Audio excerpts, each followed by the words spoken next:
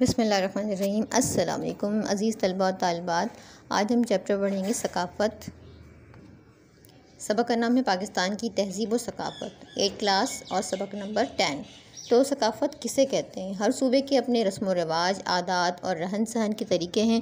انسانوں کے اس مشترکہ رہن سہن اور زندگی اور زندگی بسر کرنے کے اعلیٰ طریقوں سے تہذیب و ثقافت تشکیل پاتی ہے۔ یہ تہذیب رسم و رواج ہی کسی علاقے کی ثقافت کہلاتے ہیں۔ پاکستان کی ثقافت کیسی ہے؟ پاکستان کی ایک ایسی وحدت ہے جس میں چاروں صوبوں کے رنگ شامل ہیں۔ ہر صوبے کی اپنی الگ پہچان ہے، اپنی زبان اور اپنی ثقافت ہے۔ ہم کہہ سکتے ہیں کہ پاکستان ایک گلدستہ ہے جس میں ہر صوبے کا پھول مہکتا ہے اور دوسرے پھول کو مزید حسین بناتا ہے۔ پاکستان کے ہر صوبے کی اپنی تہذیب و ثقافت ہے۔ ان کے لباس، ان کی ان کی صدی پرانی روایات کے امی ہیں۔ ان کے کھانے، ان کی زبانیں، رسم و رواج اور طرز تعمیر اپنے اندر ایک اپنے اندر ایک انفرادیت لیے ہوئے ہیں۔ پاکستان کی ثقافت میں کن رنگوں کی آمیزش ہے؟ پاکستان کی ثقافت میں اس کے مختلف صوبوں کی الگ الگ ثقافتوں کی آمیزش ہے۔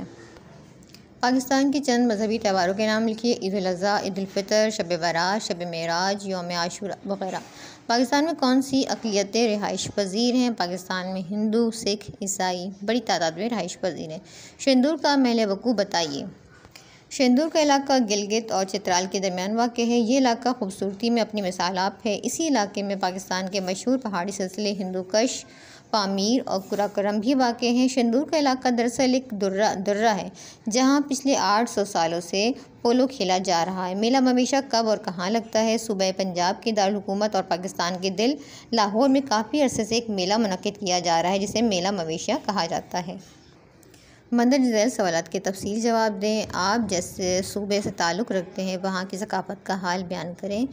اس سے پہلے اگر آپ چینل پہ نئے ہیں اور ابھی تک اپنے چینل کو سبسکرائب نہیں کیا، تو جلدی سے جا کر مہر جال اکیڈمی کو سبسکرائب کر لیں اور ساتھ میں لگے ہوئے بیل کے آئیکن کو پریس کرنا ہرگز نہ بھولیے گا، تاکہ آپ کو اس طرح کی ویڈیوز کا نوٹیفیکیشن وقتاً فوقتاً ملتا رہے اور آپ اس سے استفادہ کر سکیں۔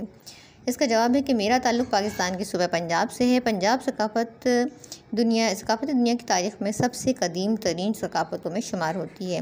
ثقافتی، تاریخی، مذہبی اور جغرافیائی طور پر پنجاب اپنے اندر ہر وہ کشش رکھتا ہے جو ایک سیاح کو اپنی طرف کھینچ لے۔ یعنی پنجاب میں تاریخی قلعے ہیں، دریا ہیں، ریگستانی سلسلے ہیں، خوبصورت باغات ہیں، پہاڑی سلسلے ہیں اور پنجاب اپنی صحت بخش اور مزیدار کھانوں کی وجہ سے خوابوں کی وجہ سے دنیا بھر میں مشہور ہے۔ پنجابی ادب کا عظیم سرمایہ پنجاب کی لوگ داستانیں ہیں، جن میں ہی رانجھا سسی پنو، مرزا صاحبہ، سہنی مہیوال کا محبت کی داستانوں میں ذکر ملتا ہے۔ یہی داستانیں پنجابی ادب کا لازوال ورثہ ہے مہمان نوازی پنجاب کی پہچان رہی ہے۔ پنجابی اپنے مہمانوں کی ابھگت اپنے مخصوص روایتی کھانوں سے کرتے ہیں، جن میں دیسی مرغ، دیسی گھی میں بھونا جاتا ہے۔ پنجاب کی روایتی ڈشوں میں ساگ، مکئی کی روٹی، مکھن کے پیڑے کے ساتھ لسی و محبت کی کہانی سے جڑی ہوئی ڈش چوری کا تذکرہ بھی محبت کی داستانوں میں ملتا ہے۔ چوری بھی پنجاب کی خاص ڈش ہے جو لوگ داستان ہی رانجھا میں بتائی جاتی ہے۔ پنجاب کے اپنے دلکش و منفرد تہوار ہیں، جن میں بسنت کا تہوار بڑی دھوم دھام سے منایا جاتا تھا۔ مگر ہمارے نوجوانوں کی ناسمجھی کی وجہ سے یہ تہوار پچھلے کئی سالوں سے قانونی جرم بن چکا ہے۔ پنجاب کی خاص پہچان، پنجابی ثقافت کی جان، پنجاب کے مخصوص تہوار، پنجابی میلے ہیں جو پنجاب کی ثقافت کو نہ صرف چار چاند لگاتے ہیں، بلکہ ملک کے طول و عرض میں بسنے والے لوگوں کے ایک دوسرے کے قریب کرنے کا باہمی ذریعہ ہے۔ بڑے بڑے عرس جن میں حضرت علی عثمان ہجویری کا عرس مادھو لال حسین کا عرس، میرا چراغا بابا فرید گنج شکر کا عرس، پاک پتن میں شان شوکت سے منایا جاتا ہے۔ پاکستان پنجاب صوفیہ کی دھرتی ہے اور پنجاب ثقافت کو صوفی رنگوں سے سینچا گیا ہے۔ جیسے ہی گندم کی کٹائی سے کسان فارغ ہوتے ہیں تو پنجابی لوک ورثہ کے زیر اہتمام زیر اہتمام پنجاب کے دیہاتوں میں جگہ جگہ میلوں کا اہتمام کیا جاتا ہے۔ پاکستان کی ثقافت کی نمایاں خصوصیات واضح کریں۔ پاکستان کی ثقافت کی سب سے بڑی و خاص بات یہ ہے کہ اس میں مختلف تہذیبوں نے شامل ہو کر اس کے رنگوں کو مزید نکھارا۔ کہیں کشمیری رنگ، کہیں سندھی رنگ، کہیں صوفیانہ رنگ، کہیں پشتو رنگ اور کہیں پنجاب کے رنگ نظر آتے ہیں۔ پاکستانی ثقافت پر اسلام کی واضح ایک چھاپ ہے۔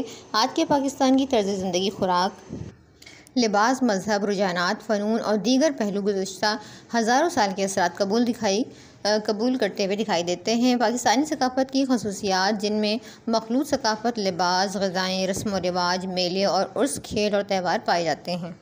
مخلوط ثقافت، جس میں دنیا بھر کے مختلف علاقوں سے آئے ہوئے لوگ پاکستانی علاقوں میں آ کر بس گئے ہیں جن میں ایرانی وسط ایشیائی تورانی عربی، یونانی، عراقی اور یورپی شامل ہیں جو گروہ بھی آیا اپنے ہمراہ، اپنی رسومات، روایات، لباس، خوراک اور اپنی زندگی گزارنے کے انداز لے کر آیا۔ ان گروہوں نے ایک دوسرے پر اثر ڈالا اور ایک ملی جلی ثقافت سامنے آئی۔ پاکستانی عوام کے لباس میں مختلف قسم کا انداز پایا جاتا ہے، جس میں ہر صوبے اور علاقے کے لوگ اپنی روایات کے مطابق لباس زیب تن کرتے ہیں۔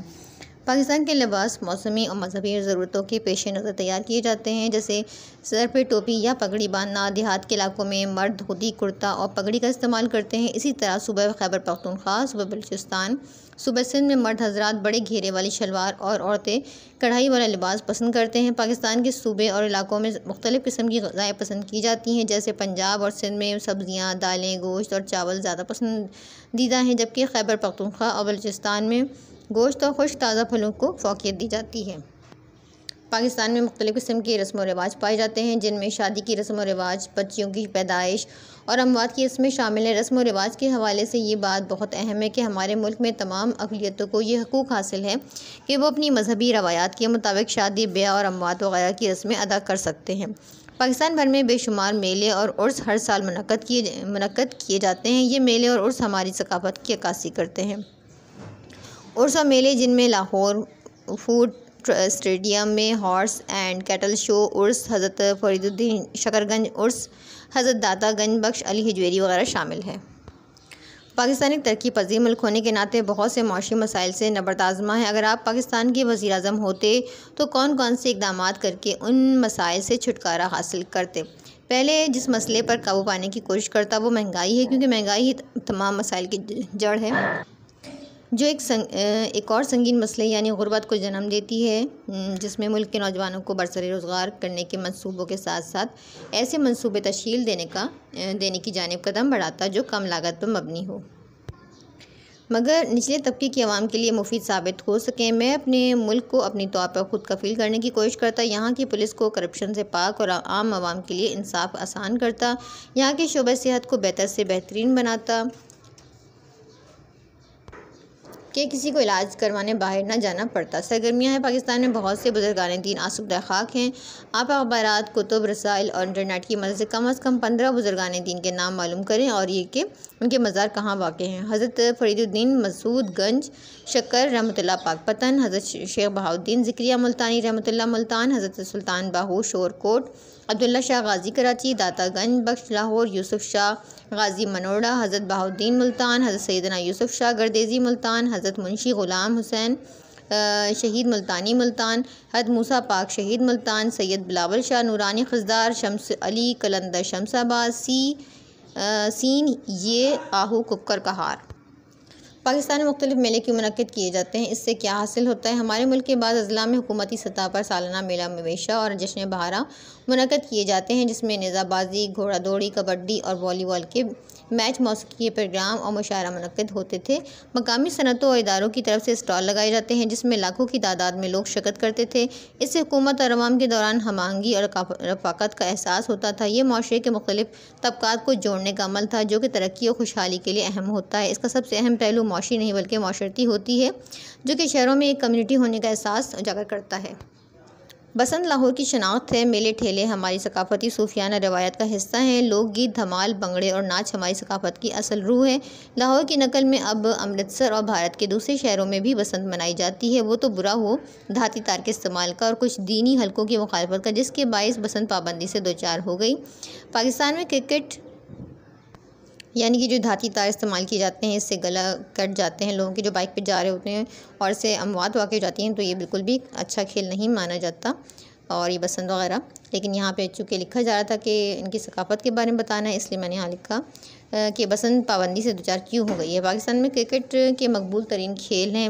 ان میچوں کا اہتمام اگر اس ملک میں کیا جائے تو زر مبادلہ میں اضافہ ہوگا۔ اس قسم کے ثقافتی تہواروں کا مقصد تفریح کے ساتھ ساتھ ہم وطنوں اور غیر ملکیوں کو اپنے ہنر سے روشناس کرانا اور ملک کے لیے زر مبادلہ حاصل کرنا ہے۔ ایسے تہوار ملک کے لوگوں کو قریب لاتے ہیں۔ ان میں ایک دوسرے سے محبت اور قوت کے جذبات پیدا ہوتے ہیں۔ امید کرتی ہوں ویڈیو آپ کو اچھی لگی ہوگی۔